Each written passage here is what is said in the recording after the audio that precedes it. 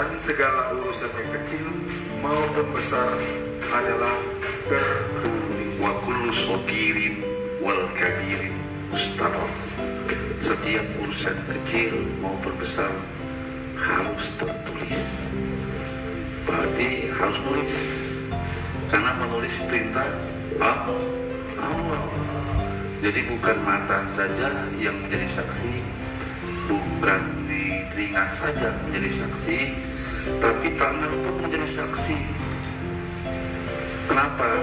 Bahwa tangan kita pernah menulis dalam ayat Al-Quran. Karena apa? Ketika sakratul maut di hari kiamat, tangan akan dipertanggungjawabkan. 36 Yasin 65. Coba baca.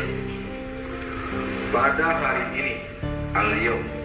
Terus kami tutup kami tutup mulut mereka. Kalau mulutnya selama ini orang ngaji majelis guru ngajar mutazah ngajar ribut nanti ditutup mulutnya. Mau saat ini ditutup. Ditutup oleh Allah nggak mau kan? Lanjutkan terus. Dan berkatalah kepada kami tangan mereka. Nah tangan berkata. Ya kan? Karena mulutnya ditutup tangan berkata maka tangan digunakan untuk menulis hal-hal yang baik ya itu sering kita baca surat ya Yasin. Surat berapa itu Yasin? Surat ayat ke-65. Alhamdulillahirabbil alamin tidak ada kenikmatan yang cukup besar diberikan oleh Allah kepada kita. Marilah kita sama-sama para sahabat, para santri, para alim ulama, ustadz, kiai, dan juga pembina. Tidak ada kenikmatan yang harus kita syukuri di siang hari ini menjelang sore. Yang manusia sedikit bersyukur tentang nikmat ini. Bahkan ditanya oleh Allah sampai 31. Rabi ayyi rabbikum tukadziban kata Allah. Nikmat mana yang kamu dustakan? itu diulang oleh Allah sampai 31 kali surat 55 Ar-Rahman ayat 13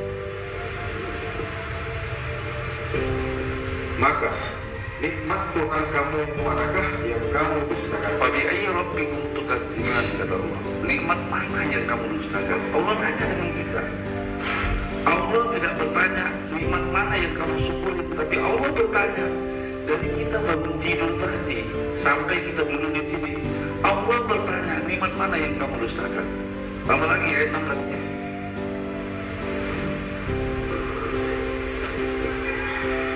maka nikmat Tuhan kamu yang manakah yang kamu dustakan tambah lagi ayat 18 nya maka nikmat Tuhan kamu yang manakah yang kamu dustakan tambah ayat satu lagi ayat 21 nya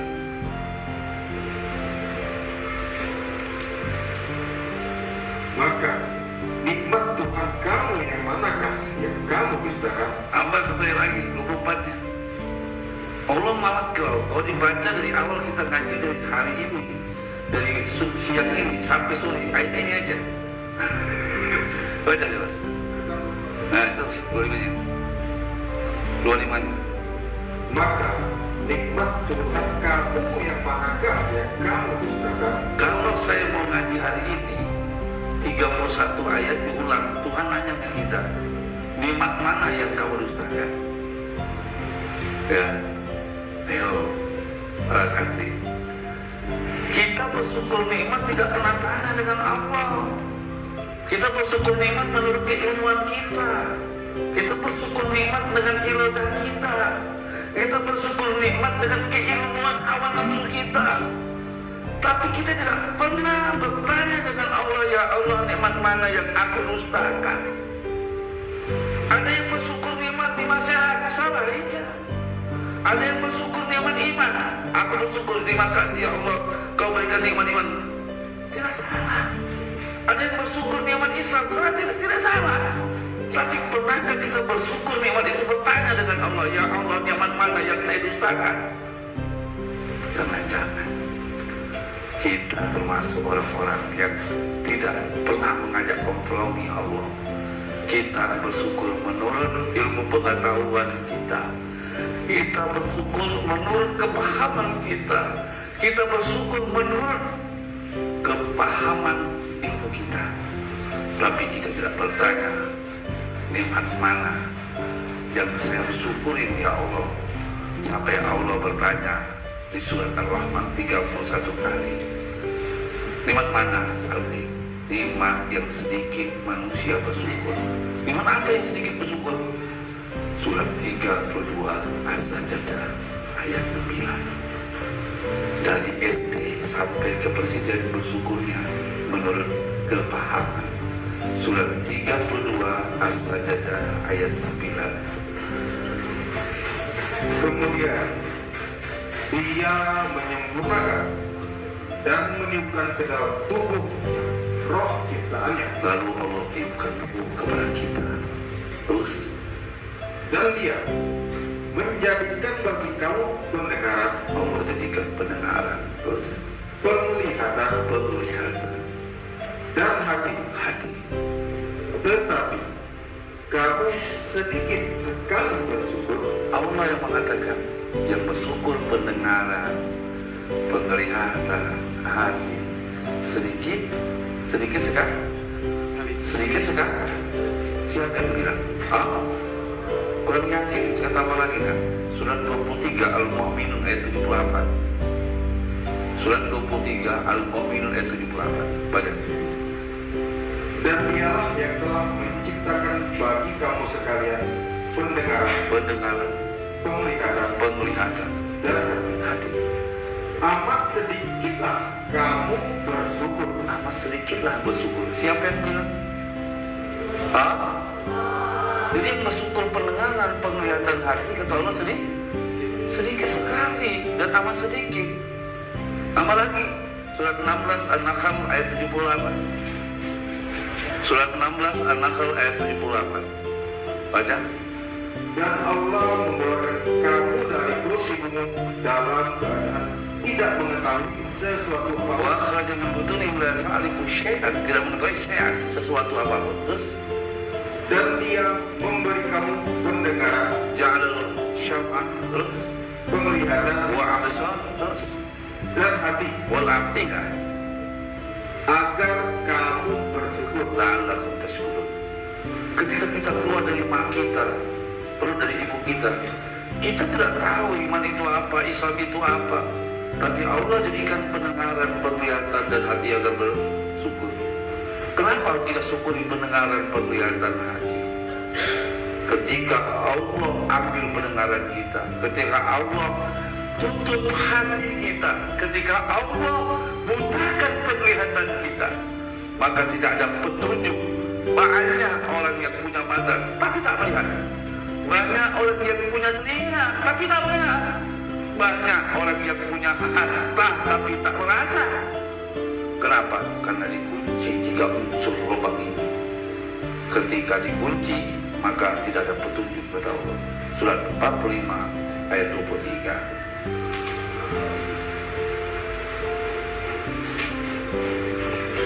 45 ayat 23 coba bantuin mal ini lebih cepat saya karena nggak sek. Ya dengan ketikan komputer itu kalah dengan saya. Ya kan? Ini ngomong terus ini 45 ayat 23 ya surat 45 ayat 23 ya. Maka pernahkah kamu melihat orang yang menjadikan hawa nafsunya sebagai Tuhan jadi ada orang mempertuhankan ilmu menurut hawa nafsunya. Banyak. Terus? Dan Allah dan Allah memberikan sesat berdasarkan ilmunya. Berdasarkan ilmunya. Banyak orang tersesat dengan ilmunya. Kepahamannya prasangkanya. Lalu kenapa mati pendengarnya. Pendengarannya terus? Dan hatinya. Hatinya. Dan meletakkan tutupan di atas penglihatannya. Terus? Maka siapakah yang akan memberinya petunjuk sesudah Allah membiarkannya sesat? Subhanallah. Semoga ini di sini santriwan kita di sini jangan termasuk orang-orang yang dikunci pendengaran penglihatan hati kita walaupun ilmu kita banyak kalau Allah tutup maka tidak ada petunjuk kenapa? Ketika Allah kunci pendengaran penglihatan hati manusia itu tak lebih dari binatang ternak maka isi neraka itu kebanyakan. Tiga hal ini. Surat 7 al-alam ayat 179 surat 7 al-alam 179 dan sesungguhnya kami jadikan untuk isi neraka jahanam kebanyakan dari jin dan manusia. Jadi isi neraka ini kebanyakan dari jin dan manusia, kebanyakan. Manusia yang mana kata Allah? Ya Allah manusia yang mana yang masuk? Kebanyakan masuk neraka. Mereka mempunyai hati, tetapi tidak pernah memahami ayat-ayat Allah. Mereka mempunyai telinga, tetapi tidak mendengar ayat-ayat Allah. Mereka mempunyai mata, tetapi tidak melihat tanda-tanda kekuasaan Allah. Mereka seperti binatang ternak, bahkan lebih lagi. Semoga kita tidak. Kenapa kita harus bersyukur pendengaran penglihatan hati? Karena inilah yang diminta pertanggungjawaban di hadapan Allah. Tidak ada yang lain. Surat 17 Al-Isra ayat 36. Surat 17 Al-Isra ayat 36. Dan janganlah kamu mengikuti apa yang apa yang kamu tidak mempunyai pengetahuan tentangnya. Sesungguhnya Sesungguhnya pendengaran, pendengaran, penglihatan, penglihatan, dan hati semua itu akan diminta pertanggungan jawabnya. itu kenapa saya katakan bab pendengaran kita, penglihatan kita mari buka mata kita jangan tidur apa? jangan tidur nanti dimutakan mari buka sebesar-besarnya telinga kita untuk mendengar ayat-ayat Allah di siang hari Mari kita buka hati kita, sudut kita. Rabbi sadri wa yassirli amri wal udatan bil. Ya Allah buka sudut saya. Agar Quran masuk kepada diri kita. Biasakan membuka. Membuka hati kita, membuka sudut kita. Karena hakikat Al-Quran di dalam sudut. 29 Al-Ankabut 49. Sebenarnya Quran di dalam dada. Kalau Quran di laptop ya seperti itu. Ya kan? Tapi kalau Quran di dada itu sujud. Coba baca. Sebenarnya. Sebenarnya Sebenarnya kata Allah. Al-Quran itu adalah ayat-ayat yang nyata di dalam dada orang-orang yang diberi Makanya ada doa Robi, Robli, Sodri, terus Waya,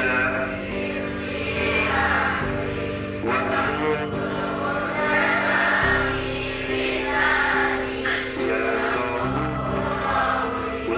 Kenapa kita harus berdoa? Doa seperti ini Agar dibukakan kita Coba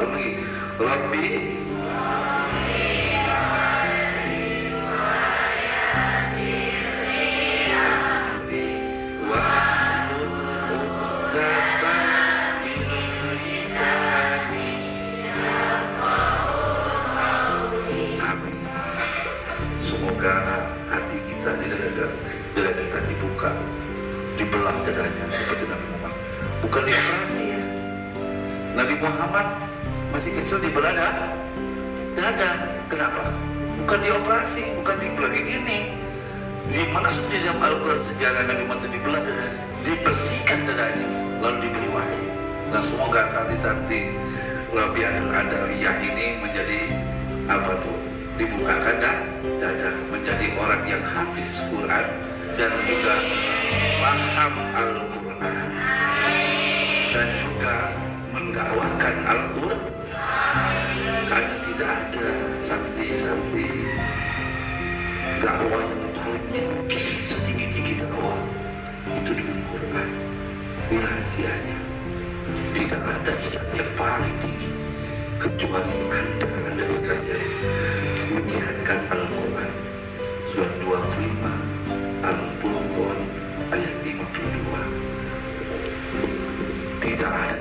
besar kecuali jihad Al-Quran coba baca Maka janganlah kamu mengikuti orang-orang dan mengikuti orang kafir karena orang kafir itu banyak beropini banyak terus dan berjihadlah berjihadlah terhadap mereka dengan Al-Quran dengan jihad yang besar. Jadi jihad yang terbesar itu apa?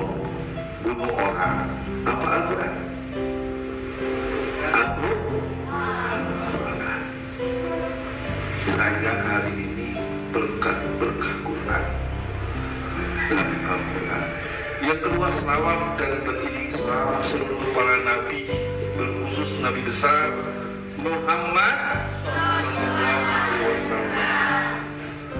Ketika akhir dari hidup Rasulullah baginda kita Muhammad 14 abad yang lalu lalu dia menangis dalam khutbah wadahnya bertanya ketika itu dia pandangi Abu Bakar Siddiq dengan mata yang tajam dia adalah Rasulullah dia memandangi salah sahabatnya Umar bin Khattab. Dia memandangi Ali bin Abi Thalib dia memandangi Utsman bin Affan. Dengan pandangan yang jauh. Dia lihat ketika itu pandangan kepada saudara sahabat-sahabatnya mukmin ketika itu. Dengan cucuran air mata Rasulullah. Dalam satu riwayat hadis. Dalam satu riwayat diceritakan. Bertanya ya Rasulullah, kenapa engkau menangis? Kata Abu Bakar, apakah kami pernah salah ya Rasulullah? Rasulullah hanya mengelak berjalan tidak. Rasulullah lalu tak menangis dengan menunjuk kepalanya. Ali bin Abi Thalib bukanlah seorang sahabat saja tapi keponakannya. Bertanya kepada Rasulullah, Ya Rasulullah, apakah kami kaum mukmin pernah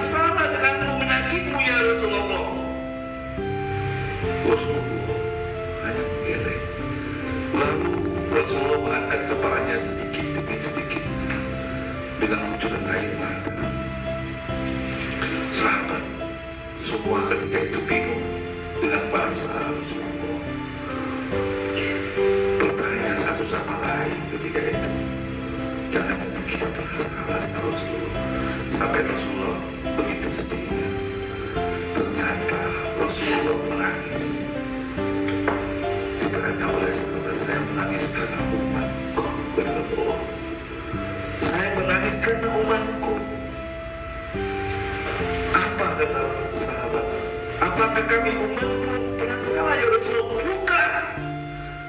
Saya menangis karena ingat umatku katanya. Umat yang tidak pernah mengenal diriku. Umat yang tidak pernah bersamaku. Tapi dia selalu berselawat kepada aku. Dia mencintai aku lebih daripada umat zaman itu. Siapa ya Rasulullah? Sahabat bertanya kepada kepada Rasulullah. Apakah kami ya Rasulullah?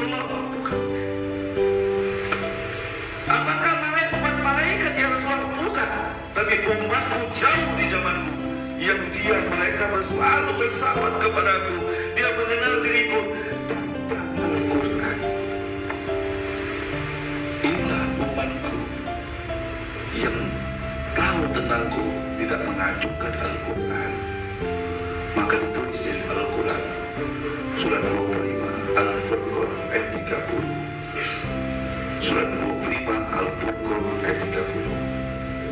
Berkatalah Rasul, Wa qala Rasul Ya Tuhanku, ya Rabbi sesungguhnya kaumku menjadikan Al-Quran itu suatu yang tidak diajukan. Wa Rasul ya Rabbi Wahai Tuhanku Ya Rabbi Innal qawmi takhaduna al-Quran mahjuro Ketika Rasul berdoa ya Tuhanku Aku minta umatku tidak mengajukan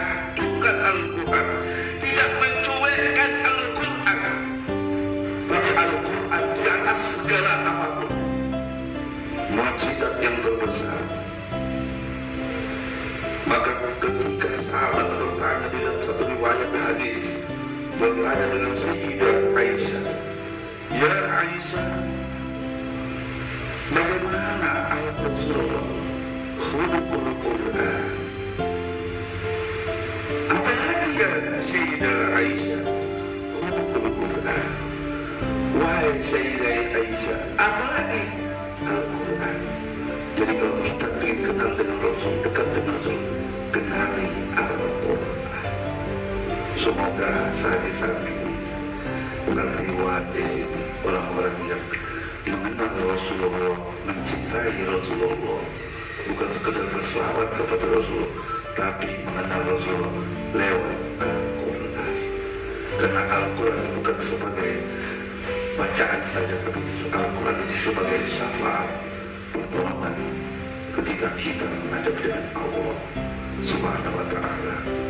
Yang ketiga terima kasih kepada pimpinan pondok pesantren Robiatul Rabiatul Adawiyah dan juga pembina.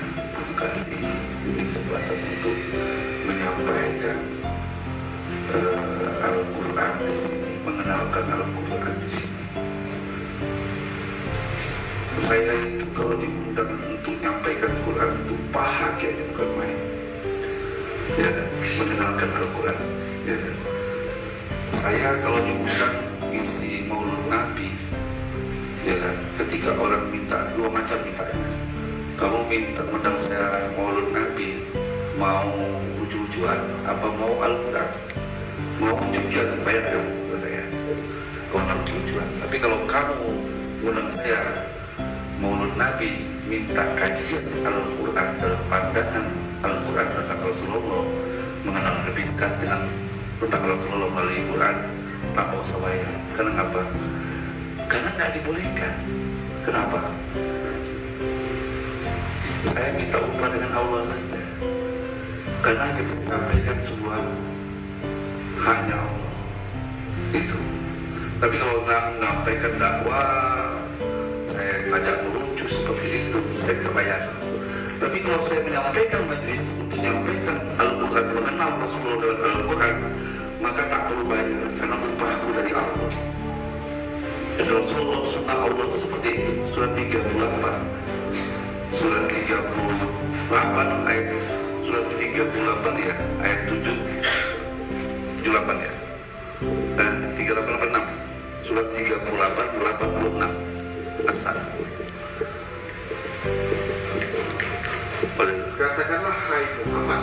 katakanlah yang Muhammad Muhammad mengatakan apa kata-kata Muhammad Aku tidak meminta upah sedikit pun padamu atas dakwaku bos.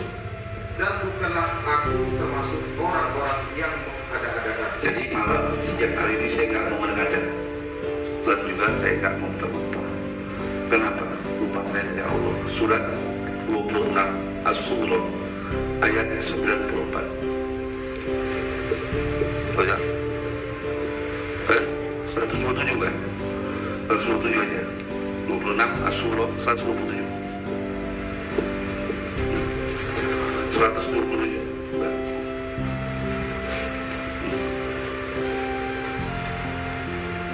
Coba Dan sekali-kali aku tidak minta upah kepadamu atas ajakan hidup. Upahku tidak lain hanyalah dari Tuhan semesta alam. ini ayat ini diulang 32 kali dalam dalam beberapa banyak surat ini yang membuat saya bertobat 10 tahun yang lalu. Jadi saya ustaz yang bertobat sebenarnya 10 tahun yang lalu. Ya. Jadi ada preman tobat biasa kalau ustaz tobat 10 tahun yang lalu sih benar ustaz anu, Pak Robi nah Pak Robi tahu nih ya kan 10 tahun yang lalu Bung Robi tahu dengan saya saya seorang ustaz yang hidup di TV ya kan ketua zikir Ali bin Ilham. Kalau nangiskan satu masjid seribu orang kecil buat saya. Terus dia nangis saya ketawa. Ya kan bukan aneh yang 10 tahun yang lalu saya masih bercerita tentang opini pemikiran. Ada berapa ayat yang nyambar ke saya ketika itu. Waktu bangun saya hobinya sholat itu tiap malam tahajud ketika itu. Tiap malam tahajud ada satu ayat yang mimpi dengan saya. Salah satu ayat yang mimpi. Jadi setiap malam saya tahajud kalau habis tahajud berbaca Quran. Habis tahajud baca Quran baca Quran. Nah pada malam hari itu tepatnya di bulan Ramadan ketika itu saya habis tahajud habis bangun tidur mimpi Al-Quran biasanya tahajud baru baca Quran enggak. Tapi ini mimpi Al-Quran mimpi ayat Quran. Ya mimpinya seperti Yasin ayat 21 itu mimpi saya. Ya saya nggak tahu surat kamu buka surat yasin ayat 21 saya buka surat yasin saya nggak tahu isi yasin itu ayat 21 itu apa. Belum habis waktu itu belum ngerti kayaknya kamu nyatet berapa ayat saya nggak tahu. Dimulai dari ayat berapa saya nggak tahu.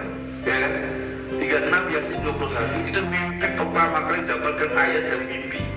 Ya kan? Itu saya sudah berdakwah tahun 97 tobat 2008 jebolan 8 tahun di pondok pesantren Jawa Timur empat setengah tahun fakultas dakwah di Komlau tapi pada nol lagi. Ya, kan? itu nembak saya ketika itu. Coba baca 36 Yasin 21 ini titik tobat saya kena ayat ini saya.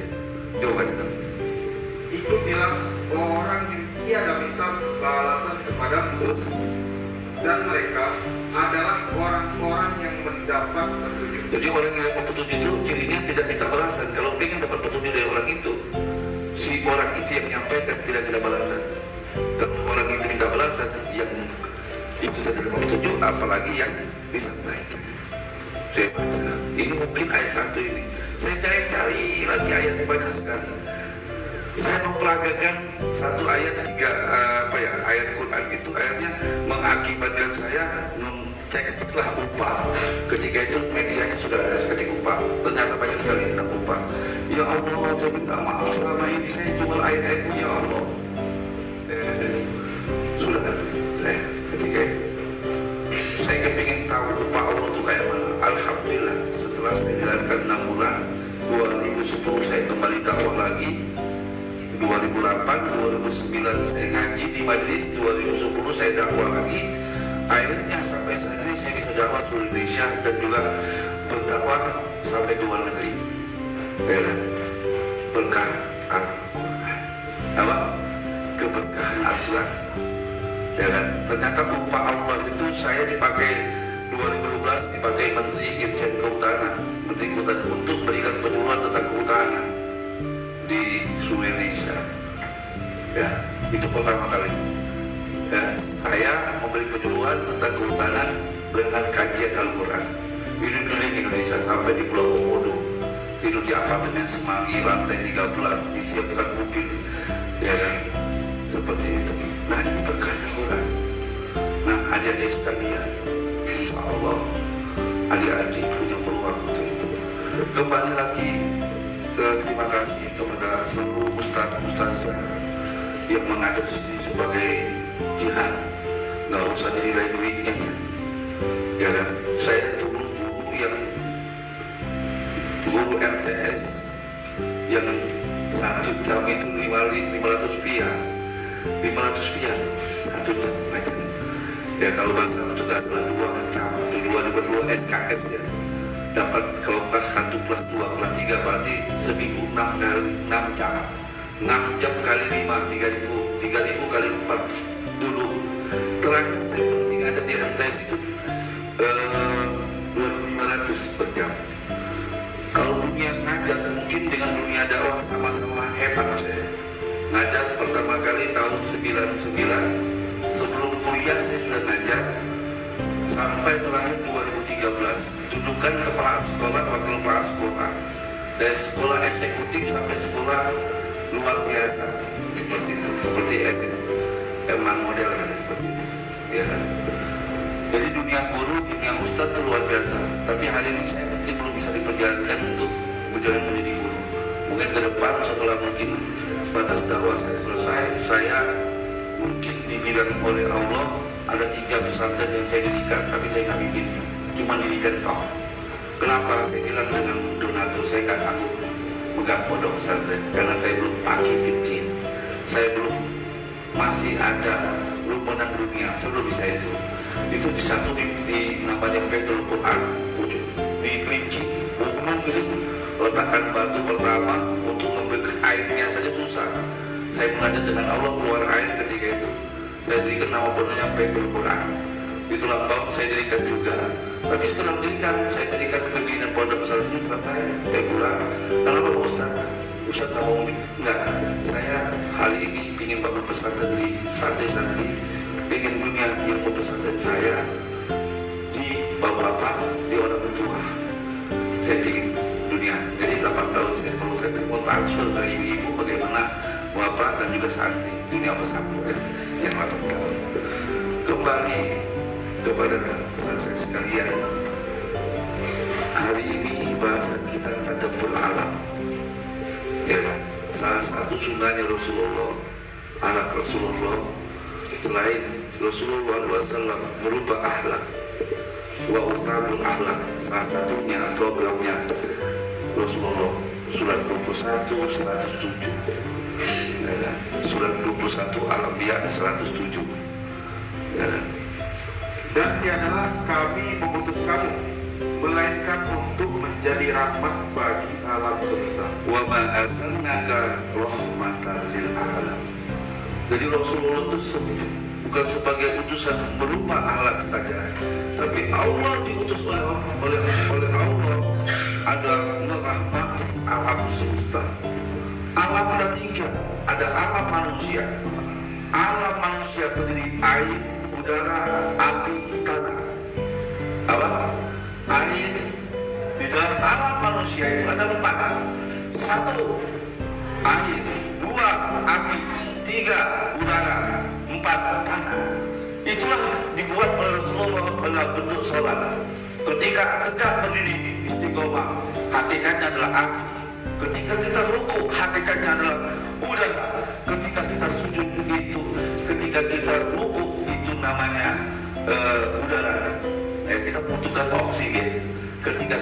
sujud itu namanya air. Ketika kita duduk itu namanya tanah dan kita terdiri dari empat ini. Apa? Jadi manusia wama asana kalau patal alam jadi merahmati alam semesta. Alam manusia ada empat unsur yang harus kita jaga. Bahkan Rasulullah SAW menulis setiap hakikat makna dari sholat tegak duduk rukuk duduk dan berbaring api udara air dan tanah dan manusia membutuhkan ini. Ya kan? Kalau nggak percaya coba dikusuk karena ini keluar apa dah? Dah? Itu tak nanya coba digosok ini keluar itu tanah tuh. Hah? Hah? ya? Keluar kitab apa tak ketika kamu keringat ketika kamu eh, olahraga itu menghasilkan api ya keluarlah kering maka kalau masa air itu kalau dia panas enggak itu keluar namanya kering kalau kau nggak tahu bagaimana dasarnya mau dia presiden mau dia ulama mau dia habaib mau siapa pun dia dia pasti membutuhkan udara atau nah, sekarang kamu tes. Kamu pengen tahu dari Allah. Coba semua tutup nah tutup hidup dulu semuanya coba. Pengen tahu Tuhan itu kayak mana lima Tuhan itu. Tutup hidup nah sekarang tarik nafas. Ah, saya itu sampai tiga tarik nafas. Kamu kamu yang sombong selama ini yang merasa hebat ya kan? merasa paling tinggi merasa paling suci orang lain salah ya kan? kamu pasti membutuhkan udara sudah kamu tekan dulu kamu kamu tarik nafasnya.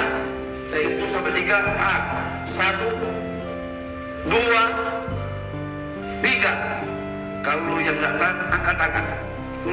Saya hitung. Coba dihitung. Ustaz Ridho biar tahan anak ini. Sampai berapa menit dia ditahannya yang nggak angkat tangan coba. Dua. Tiga. Nah Nah, ya. Ya ya makanya kamu latihan berendam di banyu ya.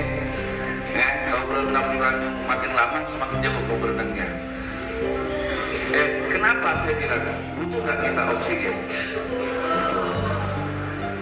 Nabi Muhammad yang luar biasa butuh nggak oksigen? Nabi Nabi kita Muhammad butuh nggak oksigen? Presiden Jokowi butuh nggak presiden Ustaz kayak kayak pakam-pakam ini butuh nggak presiden orang yang hebat-hebat kayak sholat lima sampai sampai jidatnya hitam itu butuh nggak oksigen saya tanya oksigen ada agamanya nggak?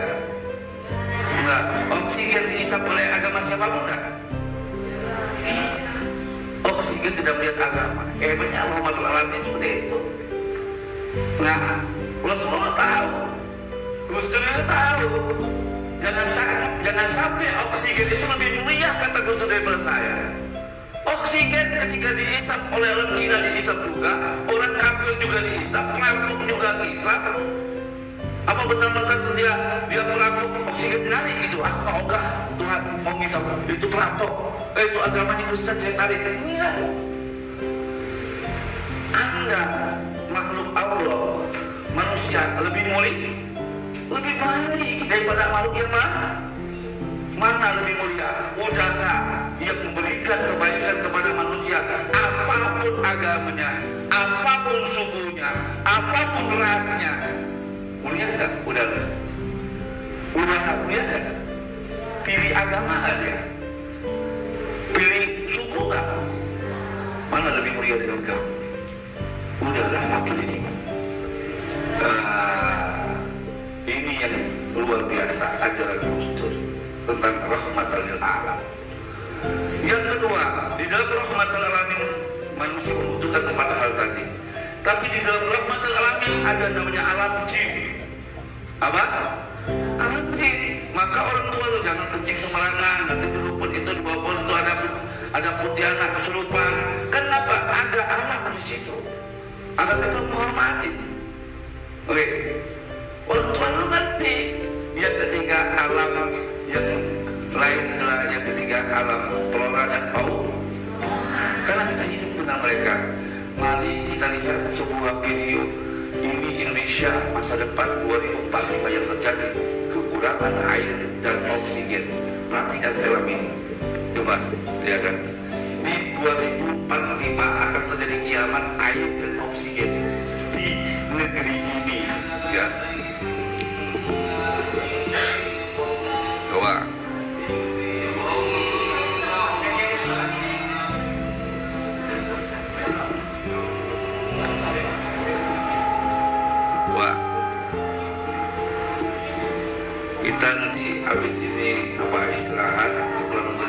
kita lihat Indonesia depan nanti ada berapa umurnya sekarang? Anak santri duduk di pondok ini lima tahun.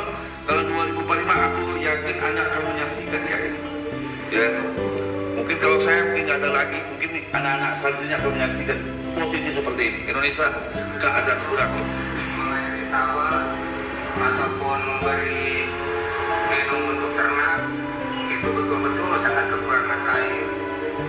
ya misalnya ya susah ngambil air bingung ya ke mana kalau nggak ada di mah ke mana itu ada mata airnya lagi.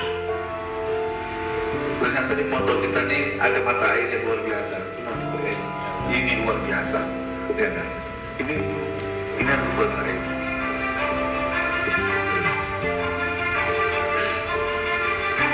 Insya Allah adik-adik akan 2045 masih hidup dan akan apa yang saya omongi hari ini tanggal 3 Maret 10 kamu akan saksikan ini. Negeri kita ini. Ya akan terjadi seperti ini.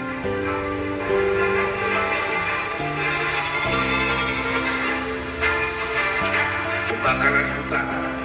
Pernah terjadi di negeri kita pembakaran hutan yang berhebatan. Akhirnya kita eh, menimbulkan tidak bisa bernapas dengan baik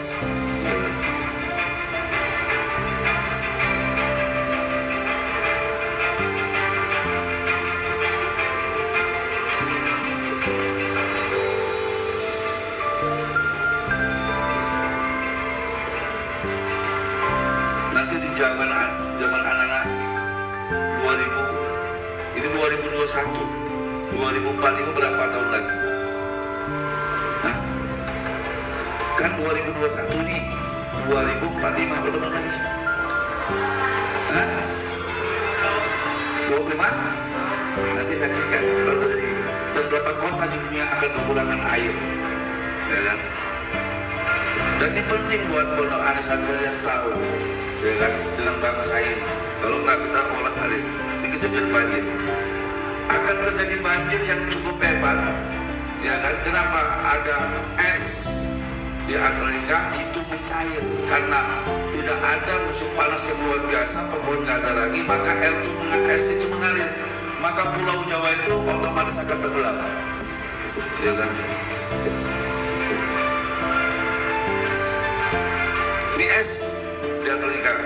dan ini sudah letak. Dan letakan es hari ini itu seluas esnya yang terbongkar itu sepulau Jawa gimana kalau percaya makanya di Jakarta itu musim hujan sedikit aja dia udah naik. Ya kan banjirnya bukan main ya kan Covid salah satunya penyakit Covid salah satunya itu di seluruh dunia itu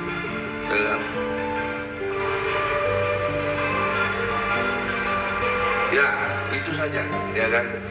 Ini kenapa terjadi seperti ini? Karena ulah manusia. Apa?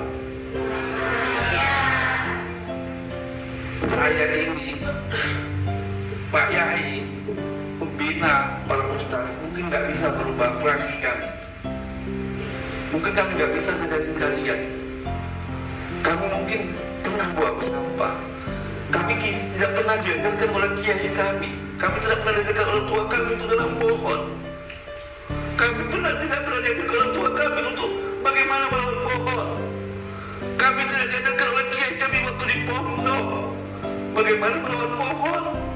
Yang kami tahu kita berkunjung dan belajar dan belajar ketika itu. Saya nggak mau generasi hari ini. Menerima kalian potong generasi bahwa anda tidak buang sampah sembarangan. Anda cinta dengan binatang. Anda cinta dengan fauna melawan alam semesta. Apalagi pondok kalian kali ini masih luas. Ya kan? Jangan buang sembarangan. Jangan dipaksa. Ya kan? Saya ingat cerita Sunan Ampel ketika dia nyabut satu buah rumput karena kesalahan. Sunan Bonang ketika Sunan Bonang mencabut rumput karena nggak sengaja dia menangis.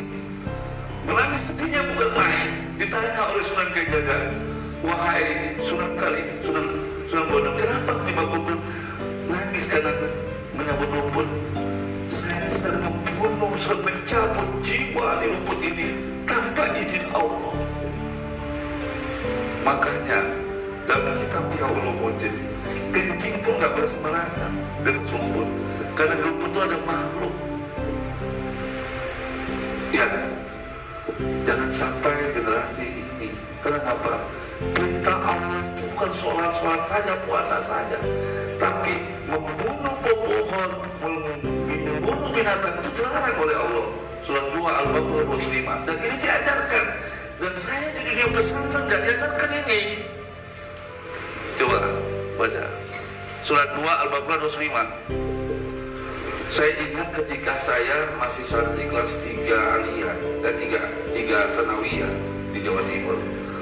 Dulu Pak Yai punya kebun ubi ya. Yang berkesan sampai saat ini. Saya kita dipanggil oleh oleh oleh mudir ketika itu oleh Pak Yai. Yuk kita ke kebun. Oke pak senang. Kalau diajak Pak Yai paling senang sekali. Ke kebun. Nah kami disuruh untuk nyambut ubi nyambut ubi saya kita tarik Prat. Pak Kiai itu marah. Goblok kamu. Padahal saya menyambut ubi kok saya salah? Nyambut ubi kok salah ya saya? Padahal disuruh nyambut ubi apa kata Pak Yai eh sini kamu. Iya Pak Yai ini rapor kaset sakit nggak? Sakit Pak Yai nyambut ubi jangan seperti itu. Nyambut ubi baca bismillah dengan kaki saya. Sedikit cabut sedikit karena itu makhluk Allah itu kesan saya tahun tahun kelas 3 sanawiyah Pak Kiai mencabut ubi dengan kasih sayang Bismillahirrahmanirrahim dengan nama Allah yang maha pengasih, maha penyayang. Ketika nyambut ubi, kita mengatasnamakan Allah saat yang kasih saya nyambut ubinya. Perlu kalau dikit disebut laba-laba. Saya belum tahu mana itu. Kita seenaknya saja. Itu. Kesan saya baru tiga tahun di pondok pesantren masih kecil karena masuk pondok pondok taman istri tiga itu. Coba baca satu terakhir ya. Minimal pesan Allah nyampai ke para santri apalagi santri pondoknya saya lihat ada mata air luar biasa. Ini luar biasa nabung air. Luar Dan apabila ia berpaling dari kamu, ia berjalan mengadakan kerusakan terus dan merusak merusak tanam-tanaman boleh nggak rusak tangan tidak kok tidak terus dan binatang ternak. boleh nggak kita membunuh binatang ternak? Tidak boleh. Boleh. Jadi walaupun kita bunuh namanya ayam atau ikan dengan cara yang benar dan kita tidak boleh membunuh seenak kita seperti putas, kopong, itu ikan itu. Karena ketika kita plot atau kita putasin di suatu kolam itu ikan itu bukannya ikannya saja yang mati, tapi bintik-bintik cabang generasi ikannya terbunuh. Nanti kalau kamu pulang ke rumah masing-masing, ketemu bapak, ketemu ibu, ajarkan ke ibu, Pak, di dalam bulan tidak boleh bapak mutas, nyambut pohon sembarangan. Kalau nyambut pohon itu dengan kasih sayang, ajarkan pulang ke pohon, pulang dari pondok ini berwarna yang benar. Seperti itu. Jadi Bismillah itu benar-benar kasih sayang. Ini coba kita lihat. Kemarin tadi saya main ke, ke gua gua putri, itu ada yang mutas pakai kamu ini. Bukan nggak boleh makan ikan boleh. Tapi ketika diputasi semua ik- ikan itu dekat jenti ikan bibit pun meninggal. Begitu itu. Makanya jangan sampai kita itu. Yang kedua ada seorang perempuan yang masuk neraka kata Rasulullah dalam hadis apa yang Rasulullah ada perempuan ada perempuan yang mengurung kucing. Kucingnya tidak diberi makan. Lalu dia dia perintahkan inilah perempuan yang masuk neraka. Semoga nanti sangat kasih sayang dengan binatang dan tumbuh-tumbuhan. Jadi tanaman-tanaman yang ada di pondok ini disiram. Tidak perlu diperintah. Karena apa? Ibadah. Itu bukan ibadah yang baik. Itu adalah merawat dan menyirami karena apa? Karena kita hidup dalam bentuk a- air kenapa kita merawat karena semua dari